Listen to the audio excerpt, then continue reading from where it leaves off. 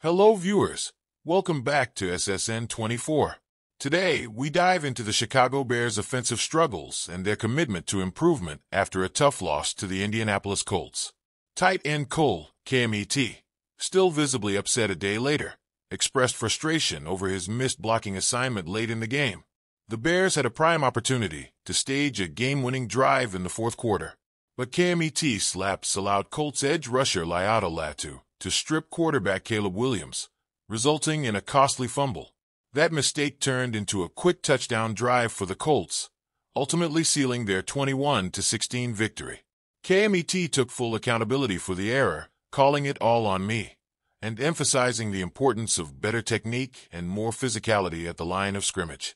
This play was just one example of the Bears' ongoing offensive issues. In the first three games of the season, the Bears have had 35 possessions, but only managed three touchdowns, paired with five turnovers. While the Bears are dealing with a rookie quarterback in Caleb Williams and a new offensive system, Kmet stressed that time is not on their side. With an eye on the playoffs, the team needs to clean up mistakes and start playing at a higher level. Despite some positives, including Williams' first 300-yard passing game and a productive day for Kmet with 97 yards and a touchdown. The Bears' key errors proved costly.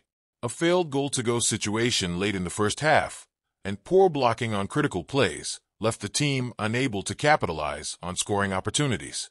Head coach Matt Eberflus emphasized the importance of accountability, urging his players to review their performances critically and focus on improving execution. As Kmet pointed out, better is not good enough when it comes to reaching the team's potential. Moving forward, the Bears will look to bounce back in their next game against the Los Angeles Rams. While the loss was a reality check, Kmet remains optimistic that the team can turn things around quickly, saying, Once it clicks, I don't think we'll look back. Thank you for watching SSN 24. Don't forget to like, share, and subscribe to stay updated with the latest sports news.